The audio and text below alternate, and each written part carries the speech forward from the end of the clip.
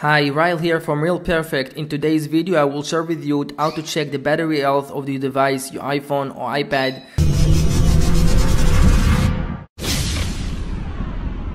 Guys, you wanna know if you time to change the device or uh, change the battery. So let's do it. Go to setting and now scroll down until you see the word battery. You see over here battery. Click on it and then you see battery health. You click on it. You see maximum capacity is 96. If it's under 80, time to change the phone or change the battery, guys.